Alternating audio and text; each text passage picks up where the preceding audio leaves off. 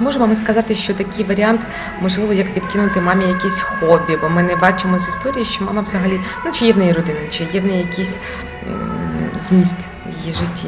Можливо, їй якось підкидати ідеї, на щось вона піде, і тим самим увагу переключить на своє життя. Можно. Получится это или нет, у Влады влечется ли мама или нет. Что-то привезти, ей, не знаю, пазлы там или ну, выживание. Мотоцикл вряд ли, мои- смотря какая мама, да. Ну, я не знаю, выживание, вязание, там, макраме. Ну, можно попробовать. Это, может, будет хороший способ как-то перевести разговор с себя на маму, потому что вот те люди, которые, которых критиковали, они как-то в этот момент каменеют, да, и, и не шевелятся. То если она будет обращаться к маме, то это очень хороший способ изменить сам ход беседы и обратить внимание на маму, на то, как она живет, может быть, даже поинтересоваться тем, как она живет, и позаботиться как бы о том, что она жила бы более интересно, это спасибо вам, это очень хороший ход. Забота о себе здесь и забота о маме, она так одновременно.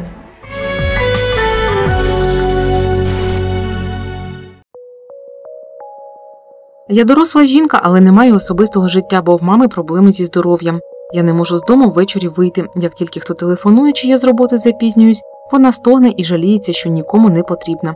Як дитина себе поводить, і жаль її, і себе жаль без підпису.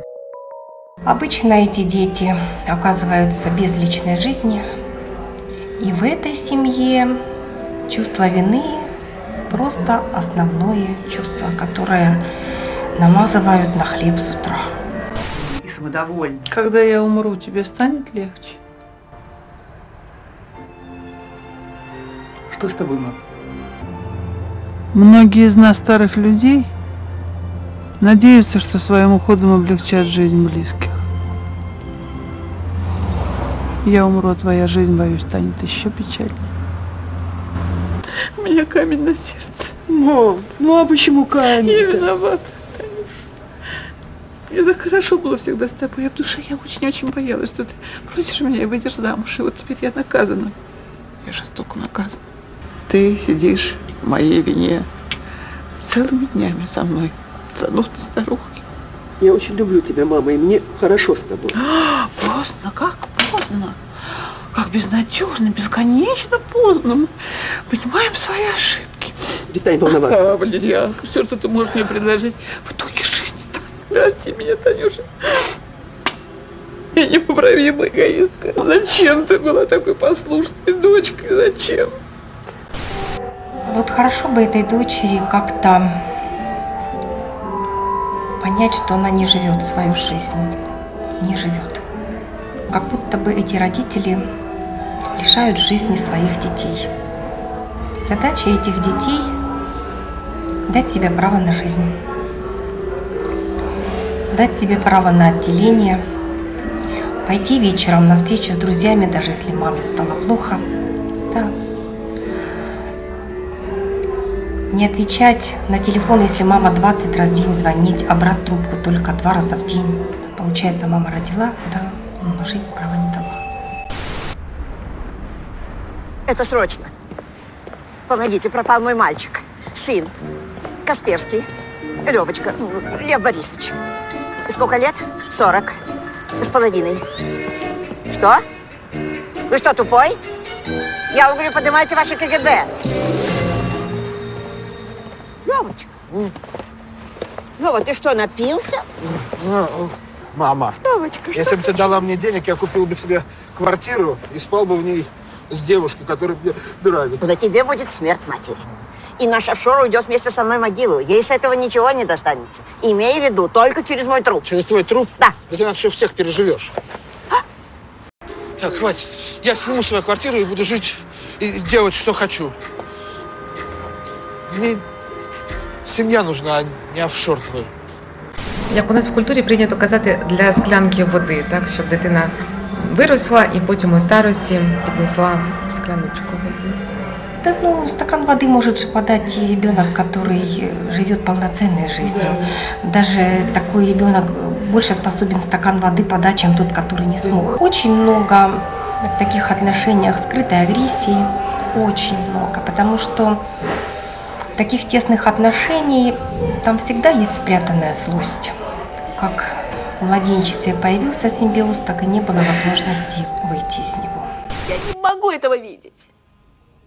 Он нарисовал 117 ее портретов. Ого, Ну не 100, но 17. я вас не понимаю. Меня он не нарисовал за всю жизнь ни разу. А моя дочь, одна открытка поздравления с Новым годом. И все.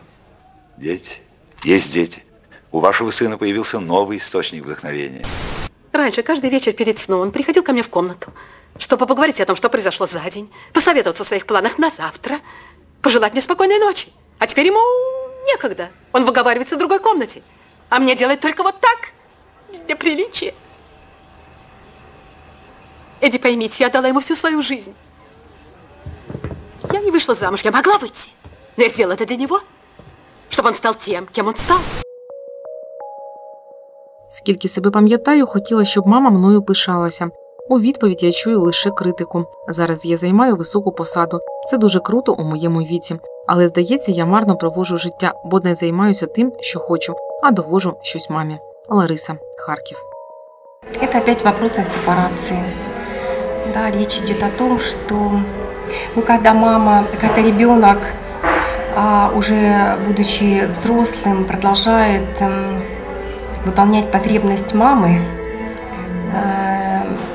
выполнять какую-то мамину мечту детства, да, если мама хотела стать музыкантом, и дочь тщательно играет на пианино, да, и она это не любит. Это вопрос о том, что не получилось у дочери отделиться от матери.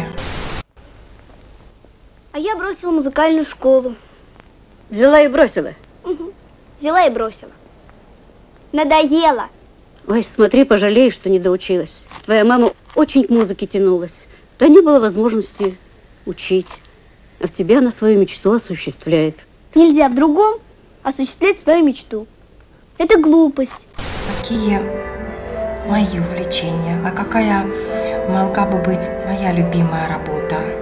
Если до сих пор вы не получили признание, да, значит, эта мама признания дать не может. Е, тобто немає сенсу покласти все життя на те, щоб щось доводити мамі. Да, некоторые мамы считают, что только так они могут стимулировать ребенка к росту, к своему росту. У мамы есть шаблон, каким должен быть ребенок, чему он должен достичь. И как только ребенок хоть немножечко высовывает нос или палец из этого шаблона, мама не удовлетворена. К сожалению, даже будучи очень успешными, эти дети остаются неудовлетворены своей жизнью. І об'єктивно ця дівчина, ну ми так бачимо, е, напевно, вона успішна у цій сфері, якою вона займається. А м, те, що мама цього не бачить, то це взагалі мамині проблеми, можемо так сказати. Но успешность, она тоже такая, понимаете, м,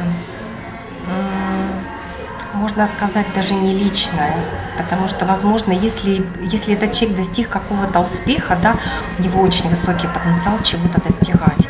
И он вполне мог бы достичь такого же успеха только на любимом поприще. Можливо, не ця сфера потрібна людині самій, чи можливо взагалі не кар'єра, так? Може бути таке. Да, да, может быть, просто в другой теме. Некоторые люди же меняют профессию даже и после 30, и после 40 лет. Батько ніби ревнує мене до чоловіка. Так сталося, що він живе з нами, і кожного дня чоловіка принижує. Мені не подобається, я вже з ним говорила, але в нього одна відповідь, що це мені здається. А чоловік у мене роботящий, живемо добре. Аліна. Там скорее для меня было про мужскую конкуренцию. Ну, кто, кто из мужиков круче? И вроде как папа затевает такую конкуренцию, да, а кто, кто лучше? Я, вот посмотрите, есть же такие папы, которые с сыновьями так конкурируют. Ну, Не очень такая приятная история. А может и ревнует. Як цій жінці реагувати в ситуації е, конкуренції чоловіків? Жаль, конечно, что нет возможности отдельно жить. Очень жаль. Мне показалось из этого маленького вопроса, как будто бы у этой семьи нет возможности а, внутри семьи уединиться и отделиться. Очень надеюсь, что у них есть своя отдельная комната. Да? Вот я бы порекомендовала внутри семьи ну, создать какое-то свое гнездо и давать папе понять, что вот сюда он не зайдет. Вот здесь хранится нашей семьи, да, вот здесь дверь закрывается. И я думаю, что, конечно, это разговор двух мужчин. И хорошо бы, если бы это, ну, девушка не вмешивалась, а дала возможности вообще мужикам между собой разобраться. Если, может быть, она не верит, что ее муж может постоять за себя, может быть, она как-то попробует. Есть же такая идея, что когда в одном месте появляется несколько мужчин, то обязательно мужчины выстраивают вот эту иерархию, да. И папа, наверное, сейчас хочет показать, что он хозяин в этом доме. Когда мужчины между собой определяются, кто вообще главнее, они как-то успокаиваются, и все вот эти драки заканчиваются. Що ми скажемо? Взагалі, чи здорова ситуація, коли декілька поколінь вони живуть в одному контурі на одному просторі? Батьки, діти вже зі своїми родинами, ще родини ще тих дітей. Чи це взагалі можливо щасливо жити в таких? Это сложно. Хорошо, если вот все-таки очень четко обозначать э, границы своей молодой семьи, даже несмотря на протест взрослых в этом доме. Его мама определяет наш бюджет. Она ходит с нами в кино. Представляете? Втроем. Она может войти в нашу комнату даже ночью. Взрослые вполне могут даваться всяким манипуляциям, так делать, чтобы у молодых возникло чувство вины за то, что они ос- обособляются, да. Ну вот хорошо им понимать, что они имеют на это право, четко обозначать границы своей семьи, показывать, э, куда можно зайти, куда заходить вообще нельзя. Вот, это работа молодых, если родители, если взрослые как-то в этом месте не понимают. Якщо ти відчуваєш себе занадто впевненим у собі, заїдь на два тижні до мами. Можливо, мами у такий спосіб просто не дають нам остаточно втратити зв'язок з реальністю. А ми чекаємо на ваші хороші новини. Життя ще простіше, не прощаємось.